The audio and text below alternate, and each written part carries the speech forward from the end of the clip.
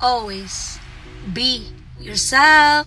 Hello guys! Welcome back to my channel. Today, mag-haul tayo ng binili natin sa Ross at saka sa Home Depot guys, okay?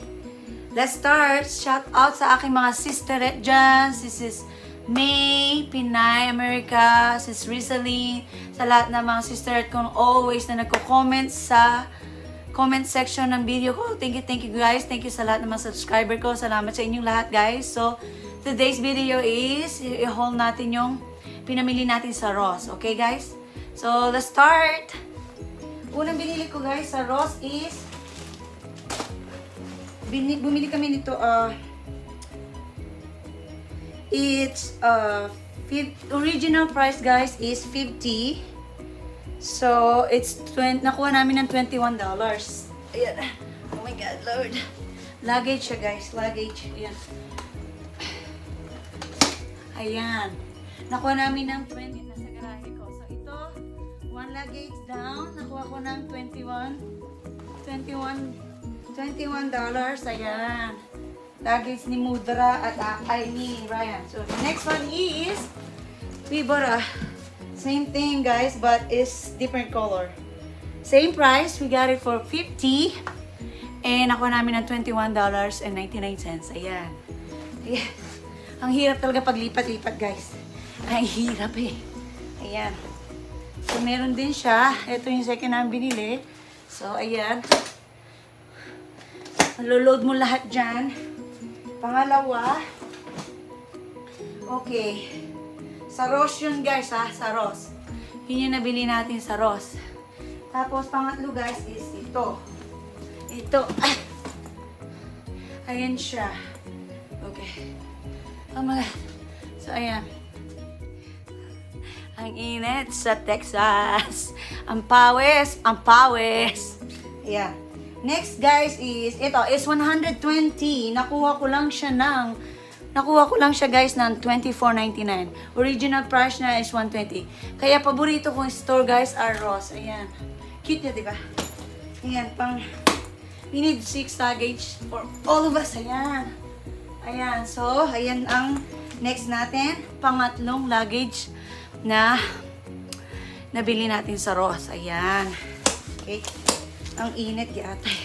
Tapos ilagay natin dito. At susunod naman natin yung mga damit-damit. Okay? So guys, we go to the next one. Shout out to all. Inubo na eh. Pinagpapawisan ako guys. So look. Pawis sa kilikili. Malagkit yung ano. See? Next one that we. Ay... na nabili ko guys. The next one na nabili ko sa Ross is ito. Cute niya guys oh. Uh, flat shoes. Original price niya is 50 bucks. Nakuha ko lang siya ng 19.99. Ayan. Namili na ang lola nyo kasi walang masyadong choice sa pupuntahan namin. Maliit, yung, maliit lang yung uh, shopping model. Walang Ross, walang TJ Maxx. Mahirapan kang online-online, delay-delay. Ayan. Bumili. Ayan, binila na ko ni Mr. Ayan. Ay, ay. And ito naman nakuha ko kay nakuha ko to kay Mudra. Eh, para kay Mudra, hindi ko lang alam kung magugustuhan niya to. Um, original price niya is 50 guys. Nakuha ko lang ng 22.99. And it's uh, rebook siya guys. Rebook. Maganda siya. Ayan. Mura naman. Pink. Pink siya. Pink. Ang init guys. Sa garage. Dito. Ayan. Kay Mudra. Ayan. So the next one guys na nakita ko sa Rose is dito lang 390 3.99 siya. Original price na is $8.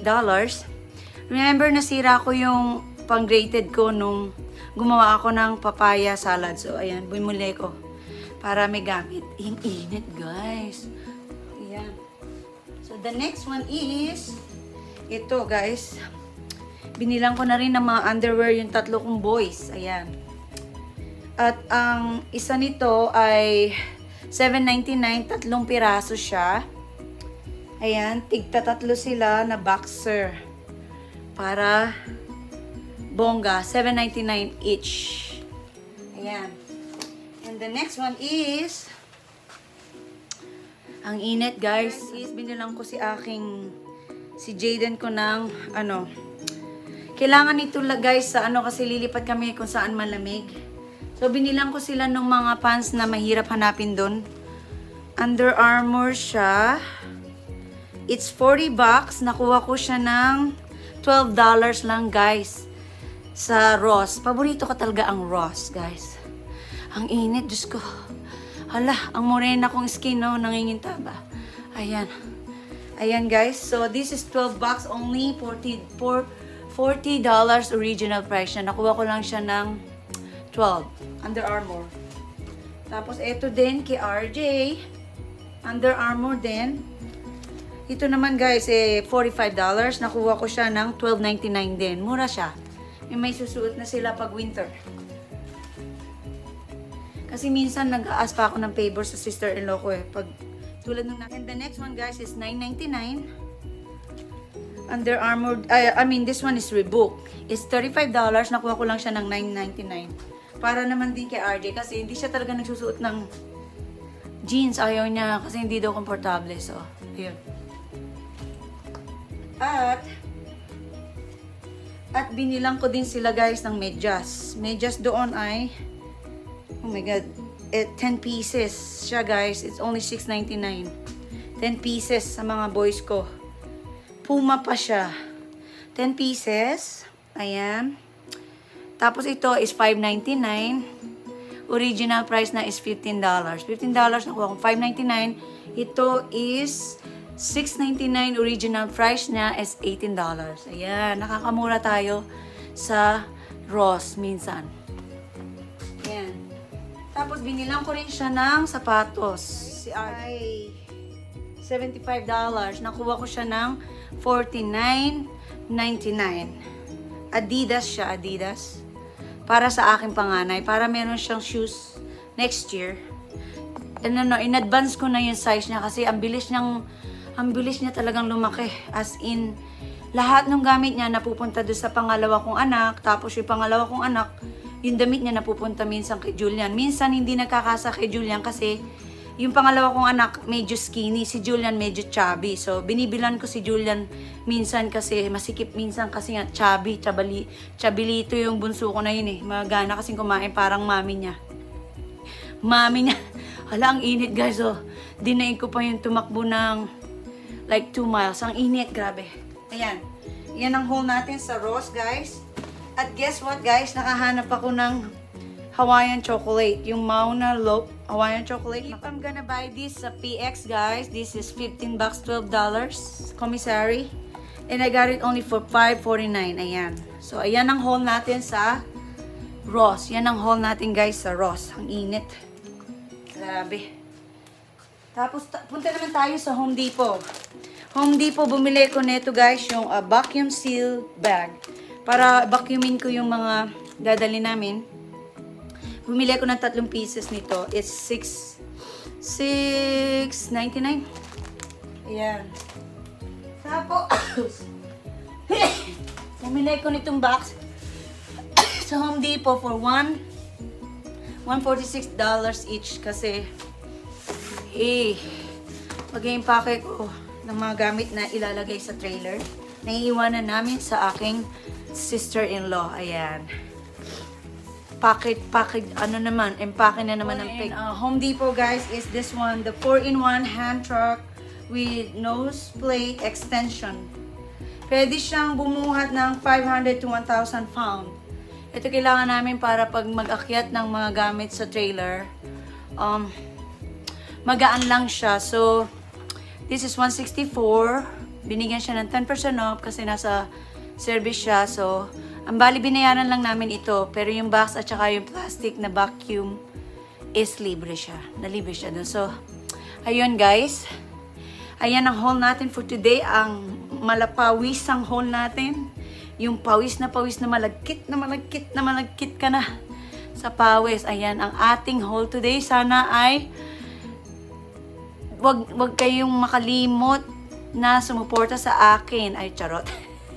Yeah, don't forget to subscribe guys. Okay, thank you sa lahat ng mga subscriber ko at nandyan palagi.